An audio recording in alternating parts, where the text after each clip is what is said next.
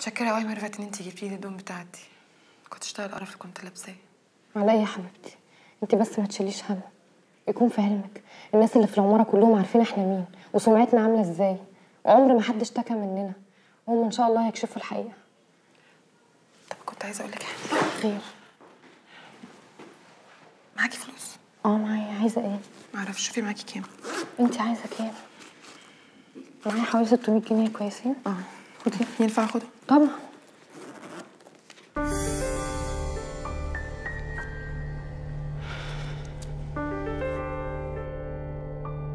أنا عايزاها تتعور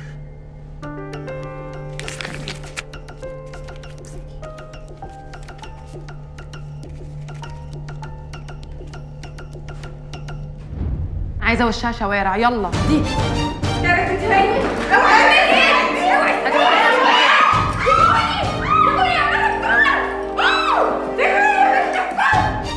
أصلي بتعلم بصعوبة شوية. مخ تخين. غبية. معلش. ما بفهمش الناس بسرعة. بس يوم ما بفهم ببقى واحدة تانية خالص. وبما إن الفلوس صوتها عالي فمن هنا ورايح يا نجوى. مفيش صوت هيعلى عن صوتي. وضبوها.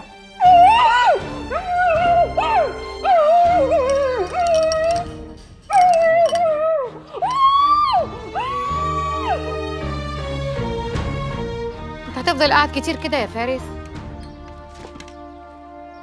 أنا غلطان إني سمعت كلامك من الأول يا بهير. الواد ابنك كان عنده حق. البت عيارها فلت وجابت لنا العار يا بهير. جابت لنا العار. أنا غلطان إني ما موتهاش من الأول. أنا اللي غلطان.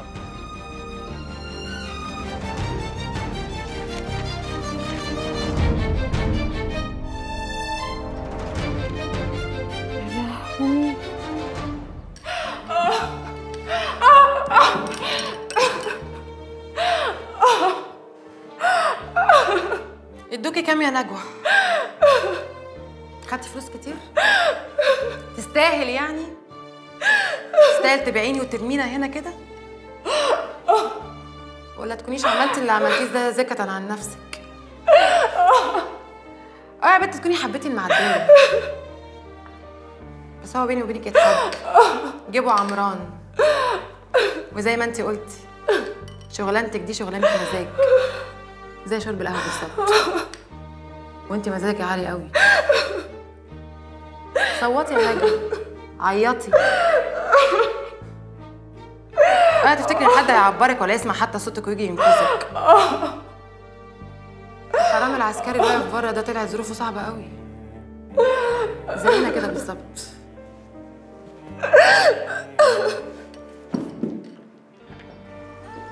القضية دي اتقفلت ولا لسه ليها ديون؟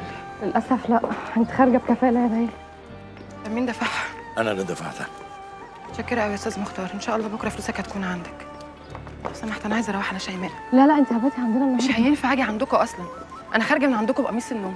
الناس كلها شافتني وأنا نازلة عندكم كده. كفاية فضايح قوي لحد كده. طب يلا بس نتغدى الأول وبعدين نتكلم في الحكاية دي. أستاذ مختار بجد أنا بشكرك على كل حاجة عملتها معايا. أنا مش عارفة أرد لك جمالك دي إزاي. ولا هتردي ولا تعملي أي حاجة. أنا عارف إيه اللي في دماغك. بص يا بنتي عشان تعملي اللي في دماغك ده وتاخدي حقك لازم تفكري في الخطوة الجاية. وتحسبيها كويس أوي. خصوصا بعد ما عرفتي قوة خصمك قد إيه. حضرتك بتتكلم عن إيه؟ بتكلم عن قضيتنا كلنا. مش قضية ليلى لوحدها قضية أي حد اتظلم. وعايز ياخد حقه وعايز ياخده بالقانون. مع إنه عارف ومتأكد إن خصمه له قانون تاني خالص قانون خاص بيه. يلا. يلا على البيت وعماد هيجي لنا هناك. أنا للأسف مش هعرف أجي معاكم عندي ميعاد مهم. روحوا أنتوا اتفضلوا طيب يلا. باي.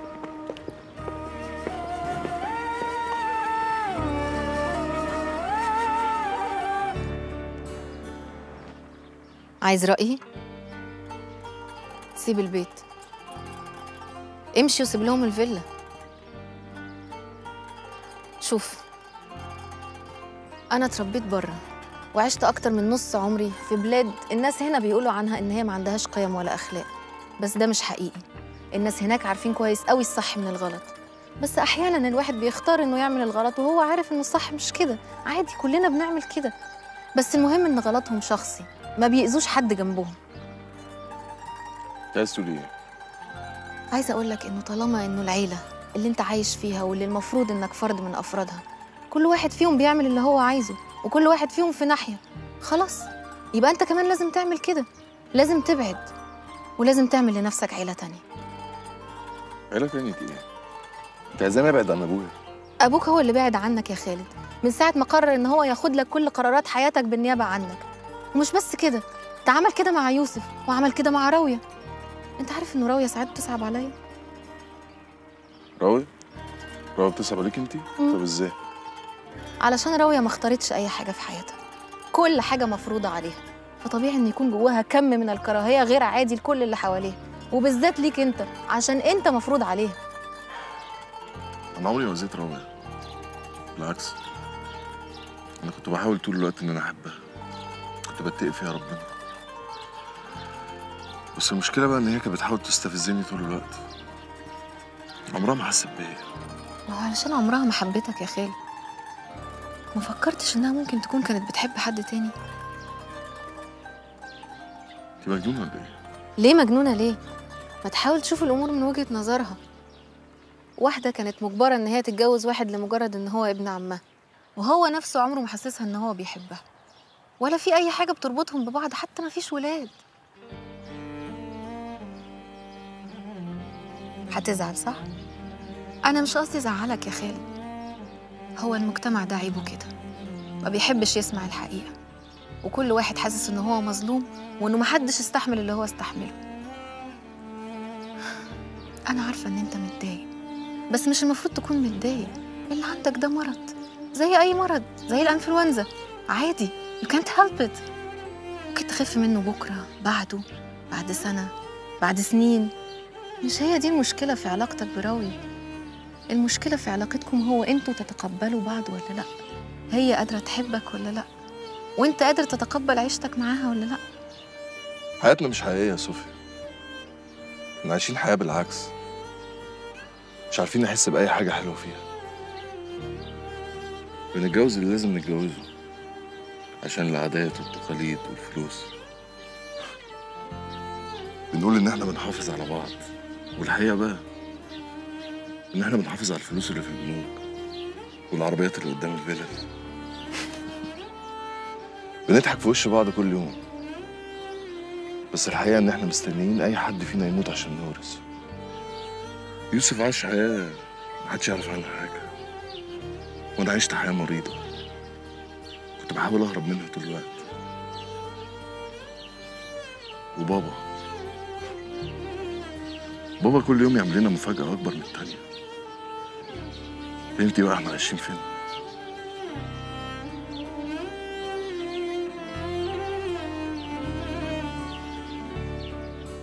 بس أنا سمعت إنهم طلعوا بكفالة النهارده. يا باشا يطلعوا ولا ما يطلعوش مش هي دي القضية. المهم عندنا إن الجرايد كتبت عنهم وتسيح لهم واتفضحوا فضيحة بجلاجل وده سعادتك له عشر فوائد أنا أقول لسعادتك على اتنين منهم. قول يا جلجل. اولا البت اللي اسمها ليلى دي بقت خلاص متهمة رسمي في قضية مشبوهة هي والمحامي بتاعها. ثانيا الأستاذ عماد المحامي الجميل هيتشطب من النقابة وهو ده اللي سعادتك عاوزه صح؟ صح. أنا مجهز لك الشيك. عشان تعرف إن المعداوي إذا وعد أوفى. يا باشا من يد من يعدمها. طب يا باشا ده يعني مكافأة من سعادتك لينا عشان نفذنا طلباتك. أنا بقى كان ليا خدمة يعني كده صغيرة. اؤمر مجموعة شركات المعدة اللهم صل على النبي اللهم لا حسد يعني. مش محتاجة يعني حد في الشؤون القانونية؟ آه أنت عايز تشتغل معايا. آه إيه صعب. لا مش صعب ولا حاجة بس سيبني يومين أرتب الحكاية دي.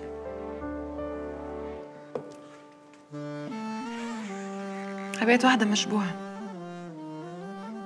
بتاعت دعارة. كل المجالات من امبارح منزلة صور بتتكلم عني. سيرتي بقت على كل لسان أنا خلاص. ما عادش ليا الحق في ممارسة المهنة. انت دافعت عني عشان حسيت إن كان عندي الحق. الحق ده هو اللي وصلك للي انت فيه دلوقتي. خسرت كل حاجة. مش صح. لا صح. هو ده اللي حصل. انت لو عندك حق بس انسان ضعيف ومفيش حد يساندك احسن لك ان انت تسكت. بدل ما تتفتح وتحط راسك في الطين. واحمد ربنا بقى ان اللي ظلمك سابك تعيش.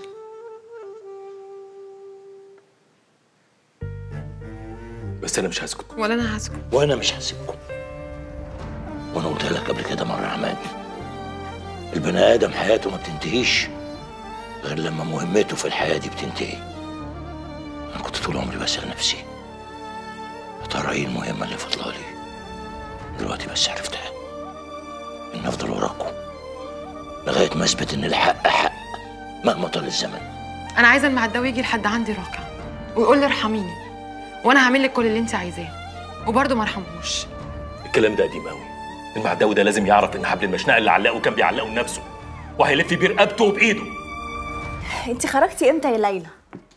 ابني عامل إيه؟ ابنك زي الفل بس ماسورة واتفتحت في العياط. وانت عارفة ده بيبي بقى وأنا ماليش في الكلام دوت.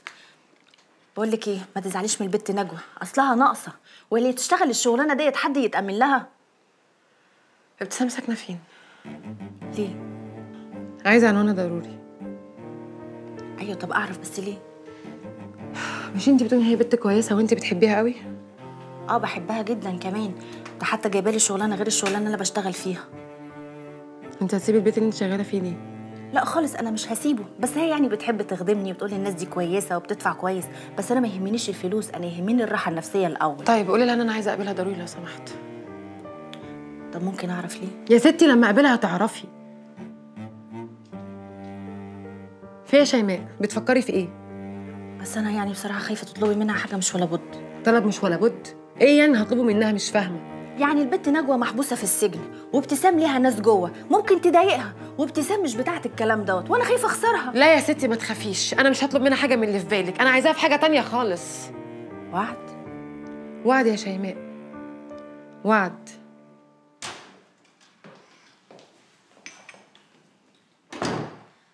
ينفع كده؟ طب خليه شهر يعدي على الجواز وبعدين ابقى اقفل تليفونك.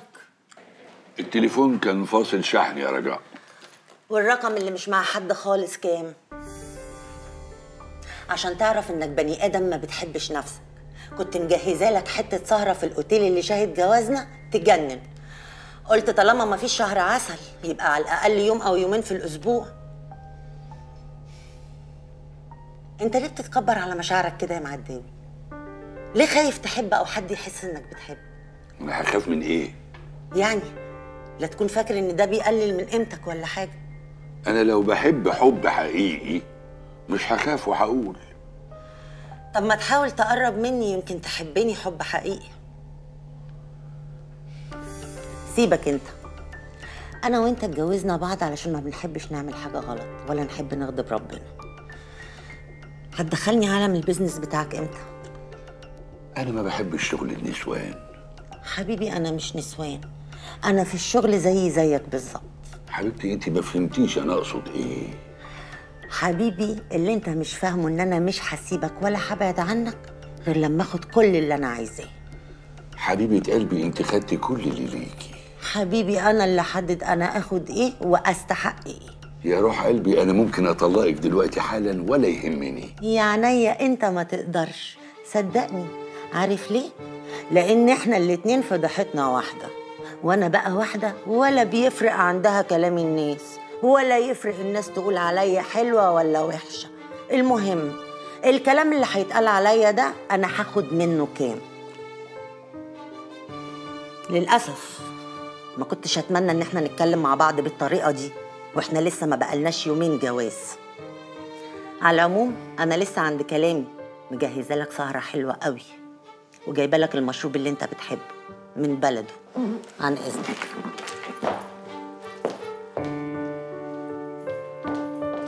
أنا عارفة إن هو طلب صعب قوي. بس أنا مش هلاقي أي حد آمن ابني عليه غيرك أنت. أنت بتقولي إيه يا ليلى؟ أنت عايزة تسيبي ابنك؟ أكيد مش هسيب ابني. أنا عايزة حد يقعد معاه ويهتم بيه ويحافظ عليه. أنا لسه قدامي كتير قوي على حياتي ما تستقر يا شيماء. طب وفيها إيه؟ ما أنا معاكي ومش هسيبك. ليلى هو انت بس ممكن تهدي كده وتفهمينا انت عايزة إيه بالظبط؟ ولا حاجة. أنا قررت إن أنا أستغل الفرصة وأشتغل في شركة مختار. أنا عندي خبرة كويسة بس للأسف الشغل عنده هياخد كل وقتي وشيماء مش فاضية عندها شغلها هي كمان. وزي ما أنتوا عارفين أنا ما عنديش حد يقعد مع ابني ويحافظ عليه. فافتكرتك افتكرت الظروف اللي انت مريتي بيها. فحسيت إن انت هتقدري تقعدي مع ابني وتاخدي بالك منه. بعدين أنا مش هسيبكم ولا حاجة. أنا هبقى دايما حواليكم وكل يوم هاجي عشان أشوف. يا جماعة أنتوا عارفين الظروف اللي أنا مريت بيها صعبة قد إيه؟ وعارفين دلوقتي إن أنا ما عنديش أهل يقعدوا مع ابني. فأنا بعتبرك انت وشيماء أهلي. أنا ما عنديش مشكلة. أنا أقدر أقول لك إن ربنا عوضني بعد الحرمان اللي أنا شفته ده. وبعدين ساجد كمان هو ابني. يبقى كده عندي طفلين بدل واحد. يعني انت موافقة ابتسام أكيد ما أقدرش أقول لك لا. مش عارفة أقول لك إيه. يعني إيه الكلام اللي بتقوليه ده؟ يا ابني أنا مملكش حاجة كل اللي أملكه 300 ألف جنيه وشوية ذهب. طيب وورث أبوكي. بابا ما عندوش حاجة. كل حاجة باسم عمي. أزرق. ده واضح إن عمك ده كان حرامي أصلي أصلي. هاني أنا عاوزة أزور خالي في المستشفى. إيه الابتسامة دي؟ عشان كنت هقول لك نعمل كده. بجد؟ بجد. والله يا راوية أنا امبارح ما جاليش نوم خالص. هتجن عمال أقلبها في دماغي يمين وشمال أجيبها كده أجيبها كده. هموت وأعرف. أبوك الله يرحمه. ساب الفلوس دي لعمك من غير حساب؟ ولا سابها له عن طيب خاطر؟ ولا إيه اللي حصل بالظبط؟ هتجنن. وبعدين؟ اصل مش معقول يعني المليارات دي كلها ملك المعداوي لوحده؟ ما أكيد أبوه زي ما كتب له.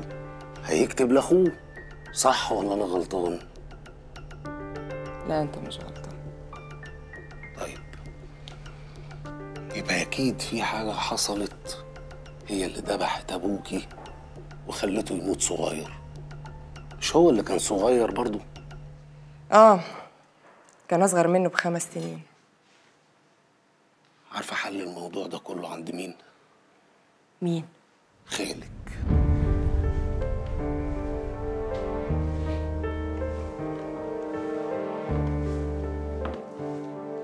خالك كان شريك المعداوي.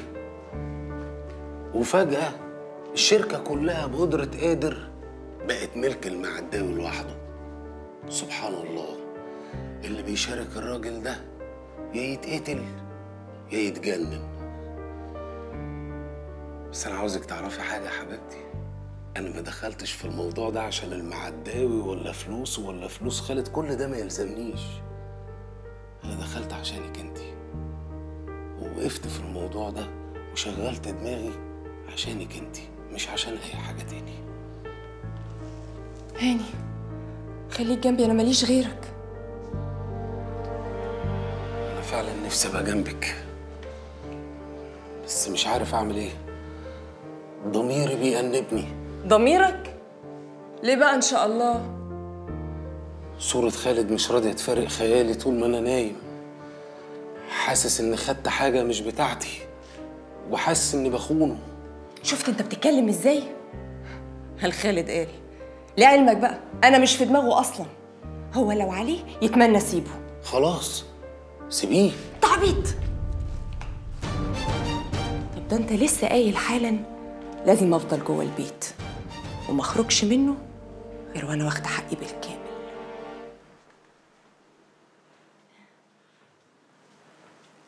هو حضرتك المطبخ زي الفل و... وما أكلتش كمان. هو اكلي مش عاجبك ولا إيه؟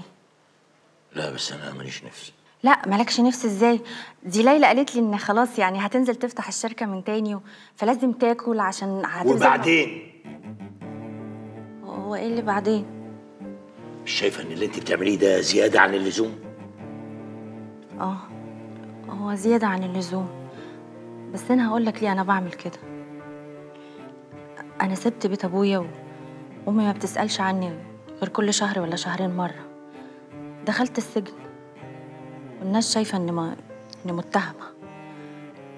بس أنا شايفة إن أي بنت جدعة في مكاني هتعمل اللي أنا عملته ده وأكتر. اشتغلت شغالة ومش زعلانه بالعكس مبسوطة وفرحانة. إني باكل من عرق جبيني ومحدش ليه حاجة عندي. بس ما عنديش أهل ولا عيلة ولا أصحاب. ما عنديش حد اتسند عليه. عشان أصلا ما فيش حد عدل اتسند عليه. مفيش قدامي غير ليلى. إنسانة نظيفة. عندها مشاكل بالكون. بس هو مين فينا ما عندوش مشاكل بالكون؟ متر عماد وقف معاها عشان حس إن هي مظلومة وحضرتك فتحت لها بيتك. ليه عايزني أسيب الناس دي كلها وأبعد عنها؟ ليه ما أكونش واحدة منكم؟ حتى لو أخليكم تحبوني بالعافية.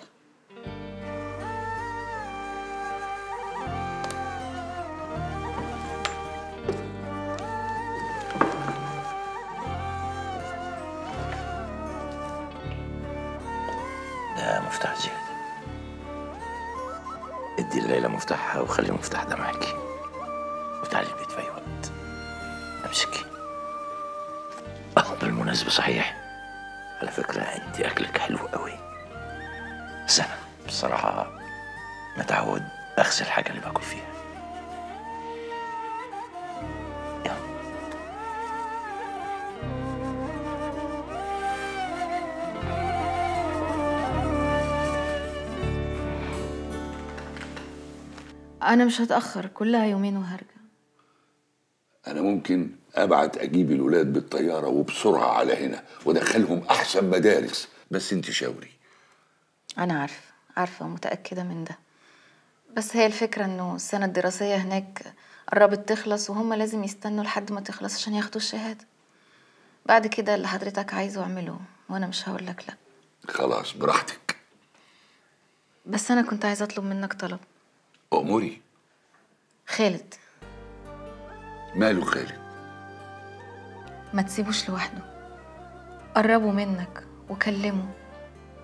أنا من ساعة ما جيت هنا ما شفتكوش قعدتوا مع بعض مرة ساعة. تتكلموا وتحكوا وتضحكوا. أنا عارفة إنه خالد مش صغير بس هو محتاج لك. وفي حاجة تانية أنا عايزة أقول لك عليها. ممكن تبدو بايخة شوية. لا لا لا. انت تقولي كل اللي انت عايزاه. هو متضايق شوية من موضوع جوازك. آه فهمت. أنا آسفة يعني بس لا لا لا. آسفة إيه؟ أنا مبسوط قوي إن انت بتتكلمي معايا. ما تعرفيش انت قريبة مني قد إيه. شكرا.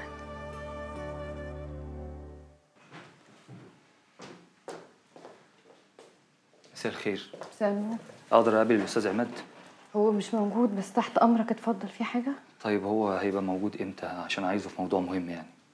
آه تقدر تقول لي أنا أخته. ممكن تقول لي اللي أنت عايزه. اتفضل. طب أستأذن حضرتك في رقم تليفونه بس؟ للأسف ما ينفعش أديك نمرته إلا بإذن منه. حضرتك ممكن تقول لي أي حاجة وأنا ابلغها له. بصراحة أنا بسأل على مدام ليلى. أنا عرفت إن هو اللي ماسك القضية بتاعتها يعني. فبدور على العنوان اللي هي ساكنة فيه. ليه؟ في حد مهم هي عارفاه محتاج زيارة منها.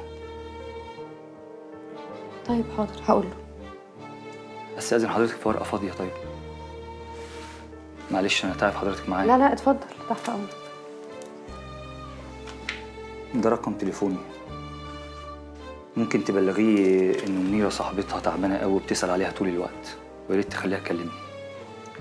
شكر السلام عليكم. عليكم السلام ورحمة الله وبركاته.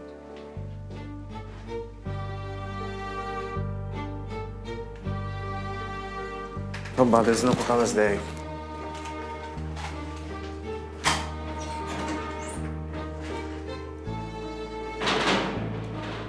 يعني إيه اللي أنت بتقوله ده؟ معناه إيه الكلام ده؟ يعني هي تخرج وأنا افضل مرمية هنا، أمال إحنا كنا بنعمل ده كله ليه؟ اهدي بس يا نوجة مش كده ما ينفعش حد فينا يظهر معاكي ده ضد اللي إحنا عملناه وبعدين ما أنا ممكن أدافع عنك بس هيكونوا عرفوا بقى إن أنا كنت خطيب ميرفت وإن علاقتي بيكي يعني مشكوك فيها المعداوي ما ينفعش يبعت المحامين بتوعه وإلا هيعرفوا إن إحنا كنا تبعه خلاص يا حبيبي شوف محامي تاني بعيد عنك وعنه إيه؟ صعبة دي؟ مش صعبة ما هو ده اللي كنت ناوي أعمله بس الصبر شوية يا نوجة. كلها يومين إن شاء الله ثلاثة وتطلعي عارف لو عملت حاجة كده ولا كده؟ ولا كده ولا كده. أنا عارف إن لسانك قد كده وتبيع أبوك في لحظة. كلها يومين ثلاثة وهتطلعي خلاص أنا قلتها كلمة. دفع؟ آه. اللي اتفقنا عليه ولا لأ؟ آه طبعا. حلو قوي. نصيبي بقى إياك تيجي جنبه. إيه ده؟ إيه يا نوجة؟ ده يا نوجة ده اسمه كلام. عيب عليكي. بقول لك إيه؟ هتيجي نطلب من الراجل ده قرشين زيادة. لا قرشين إيه؟ ده إحنا نطلب مبلغ على بعضه. نطلب مليون جنيه. آه إحنا طلعنا هبل قوي في اتفاقنا بينا وبينه. انت عارفه المنصور واخد كام في العملية اللي عملها وما طلعش من وراه بحاجة؟ واخد كام؟ 500 ألف جنيه. أو أقسم بالله زي ما بقولك كده. لو حبيتي أنا معاكي بس تبقي في ظهري. يعني لو بعت حد يستكشف كده ولا كده يسألك هنا قولي له آه أنا تعبت في السجن وعايزة فلوس زيادة. وبعدين لازم تصممي إنك تاخدي الفلوس دي قبل ما تخرجي من هنا. وأنا آخد الفلوس قبل ما أخرج إزاي يعني؟ عادي يعني أستلمها لك أنا. آه أنت مش عندك حساب في البنك؟ آه عندي حساب قديم كده ما فيهوش 5000 جنيه على بعض. خلاص هاخد الفلوس منه أحطها لك في حسابك وأجيب لك إيصال بايداع المبلغ. قلت إيه؟ ماشي. الحمد لله على السلامة. كنت فين من زمان يا نوجة؟ طب بقول لك إيه؟ ابقى أعمل إيداع للفلوس القديمة اللي عليك يا حبيبي بالمرة. ده أنت قلبك اسود قوي. خلاص يومين وهتطلع جميل. إحنا عايزين نعمل إعلانات عشان نجيب موظفين جداد. لازم السوق كله يعرف إن الشركة رجعت تشتغل تاني. وطبعا إحنا محتاجين راس مال كبير. مش هينفع ننزل السوق بأي راس مال صغير ولا حاجة. ما ينفعش ننزل السوق كأننا لسه بنبتدي. ولا أنتوا شايفين إيه؟ انت بتفكري في إيه؟ عايزه اقف قصاد المعداوي في كل حاجة. قصاده في السوق وقصاده في المحاكم. حتى في بيته. عايزه اعرف عنه كل كبيرة وصغيرة. عايزاه يبان قدامي كأنه عريان. عشان يوم أقول خلاص أنا هاخد حقي. ما يعرفش يفلت من تحت ايديا. معداوي على فكرة كان له أخ. بس كان راجل محترم أوي أنا قابلته أكتر من مرة. السوق أنتوا عارفين السوق بتاعنا سوق صغير.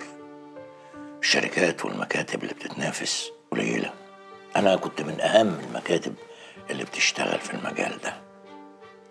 أخو المعداوي ده جالي مرة. اتقابلنا مع بعض.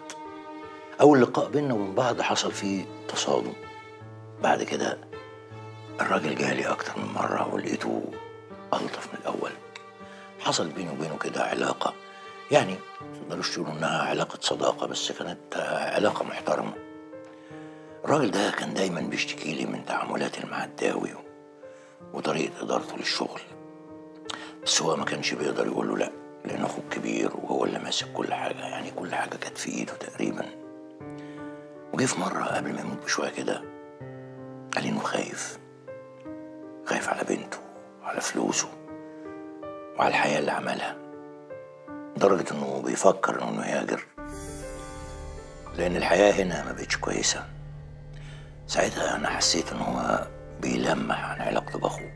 ده اللي هو والد راوي أنا شفتها فعلا عنده في الفيلا لما رحت هناك. بالظبط. طب حضرتك تقصد إيه؟ أقصد إن المعداوي تعاملاته في الشغل ما كانتش سوية. يعني لو إحنا قدرنا نوصل لحاجة من الحاجات دي هيبقى شيء هايل. أسفة اتأخرت عليكم. في واحد اسمه نور جالنا المكتب. ساب النمرة دي دي نمرته. وبيقولك إن في واحدة اسمها منيرة بتدور عليكي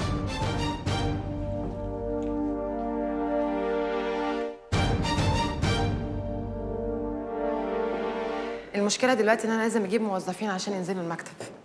وعشان أجيب الموظفين دول لازم أدفع لهم مبالغ كتيرة قوي. وأنا بصراحة عايزة انزل السوق بقوة. فمش عارفة اعمل إيه. مش هقدر أجيب موظفين مبتدئين ومش عارفة ادفع المبالغ دي كلها منين. أستاذ مختار كلمني في الموضوع ده قبل ما انزل مختار؟ بيكلمك ليه في الموضوع ده؟ شركة مختار دي كانت من أكبر الشركات في السوق. دي نفذت مشروعات كبيرة جدا. رأس مال الشركة كبير جدا أكتر مما تتخيلي. كل الموضوع بس إن هو زهد الدنيا بعد موت ابنه. يعني انت عايز تقول إن في المبلغ اللي يسد كل ده؟ مبالغ. إحنا نقدر ندخل السوق وبقوة كمان. طب الحمد لله. تعالى نشوف منيرة.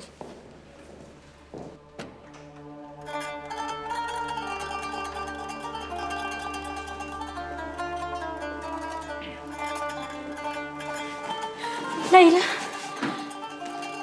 ازيك يا أنسة منيرة؟ طيب أنا أنا هستنى بره. ماشي. إيه يا منيره اللي أنت عملتيه في نفسك ده؟ في حد يعمل كده في نفسه؟ أنا تعبانة قوي يا ليلى أنت تعبانة؟ طب أنا أعمل إيه طيب؟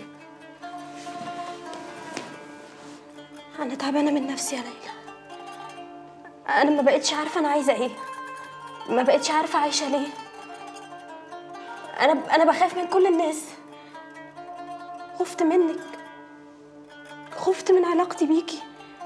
هربت منك وهربت من نور. أنا أنا لما بمشي في الشارع بحس بحس إن الناس كلها بتتكلم عليا يا ليلى. كنت عايزة أغير حياتي كنت عايزة أغير شكلي. نفسي أمشي في الشارع ما حدش يتكلم عليا. ليه يا حبيبتي؟ كل ده عشان خاطر إيه؟ عشان خفت. خفتي من إيه؟ خفت من الناس قوي يا ليلى. انت عملتي إيه عشان الناس تتكلم عليكي؟ الناس بتتكلم عليا. أنا أنا متأكدة. أنا شفتهم. أنا شفتهم. كانوا بيتوشوشوا ويبصوا لي. يا حبيبتي انت أكبر من كلام كل الناس. مش كلام الناس اللي يعمل فيكي كده ويخليكي تهدي حياتك. أنا سبت نور. لسه بتحبيه؟ مش عارفة. مش عارفة. ساعات بحس إن أنا عايزة أشوفه. ساعات بحس إني عايزة أتكلم معاه. وساعات بحس إن أنا مش عايزة أشوف حد مش عايزة أكلم حد. ليلى أنا خايفة. أنا مش لاقية حد أتكلم معاه. أنا عايزة أخرج من هنا مش عايزة أفضل هنا يا ليلى. خليهم يخرجوني من هنا. حاضر. يا منير. مش قادرة أصدق إن انت منيره مش عارفة تاخد قرار في حياتها. أمال أنا أعمل إيه؟ أنا سمعتي بقت زي الزفت. سرتي على كل لسان أروح أموت نفسي أدلق على وشي مية عشان محدش يعرفني وأنا ماشية في الشارع؟ ولا أروح أقول لمعداوي أنت صح. أنا فعلا كدابة. أنا اتجوزت يوسف وقتلته عشان أورثه. وأسيب له حقي بقى وحق ابني. مشكلتك يا منيره إن أنت خفتي. خفتي من الناس ومن كلامهم مع إن الناس دي فاضية قوي. ما وراهمش أي حاجة. غير فضايح والكذب وبس. بيتابعوا مجلات الكذب والفضايح أكتر ما بيتابعوا الأفلام والمسلسلات وأكتر ما بيشتروا الكتب. عارفة ليه؟ عشان يقنعوا نفسهم هم تمام. إن هم عملوا اللي عليهم وخلاص وكفاية كده والحمد لله يا رب. قصدك إيه؟ قصدي إن أنت قررتي تعملي زي أي حد ضعيف وفاشل. معرفش يواجه مشكلته ولا قادر يحلها. من الآخر قررتي تمشي جنب الحيط. منيرة انت لازم تخرجي من هنا. لازم تطلعي من المستشفى دي. لازم ترجعي تشتغلي تاني. تقفي على رجليكي ويكون لك هدف تسعي له سيبي اللي يتكلم يتكلم وسيبي اللي يشتم يشتم سيبي اللي يقول يقول. كل الناس عندها بلاوي أكتر مننا مليون مرة. بس عارفة الفرق ما بيننا وبينهم إيه؟ إن هما بيعرفوا يداروا على فضايحهم. بيخبوها. ومش بيواجهوا مشاكلهم. بيفضلوا حاطين راسهم في الرمل. انت إيه بقى؟ ناوي تحطي راسك في الرمل لحد إمتى يا منيرة؟